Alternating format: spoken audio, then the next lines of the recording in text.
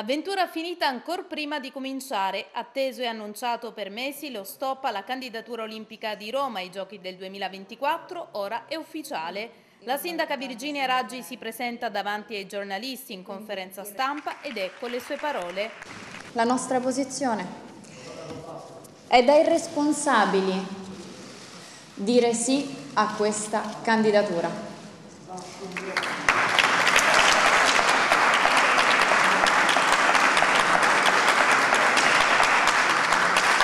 È dai responsabili, l'abbiamo detto con forza in aula Giulio Cesare a giugno del 2015, eravamo in quattro.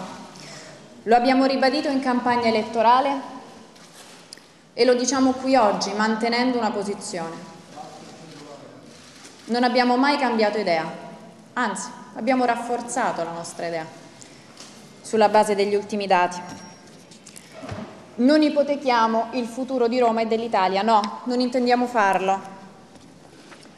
Con queste Olimpiadi di fatto, con le Olimpiadi, quello che si chiede è di, di fare, di assumere altri debiti, altri debiti per i romani e per tutti gli italiani. Questo è quello che ci viene chiesto. Noi non ce la sentiamo, sinceramente.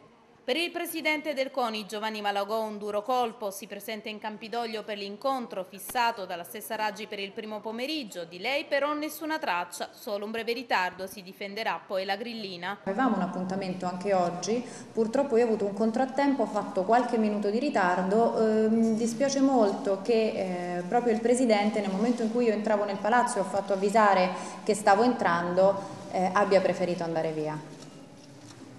Dal Campidoglio le attenzioni si spostano al CONI, dove Giovanni Malagò racconta la sua versione dei fatti, non nascondendo rabbia e delusione per il no a Roma 2024. Noi ad oggi siamo obbligati a essere nella partita. Poi se qualcuno si prende la responsabilità,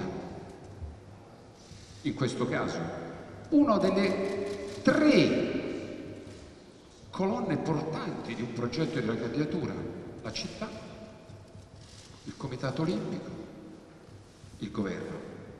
E noi lo dovremmo rispettare. Ma serve un atto formale, ma va motivato. E va motivato su un aspetto specifico su come sono cambiate le regole del gioco ed è per questo che ieri tutta la nostra equipe di lavoro ha detto c'è qualcosa nel dossier che non vi va bene? Punto per punto c'è stata l'apertura su ogni argomento. C'è qualcosa che volete cambiare? Siamo disponibili a farlo. Ritenete indispensabile avere ulteriori certezze che non c'è nessun costo supplementare da parte del cittadino romano, perché a costo zero per i cittadini romani e non diciamo cose diverse perché questo recitano le carte.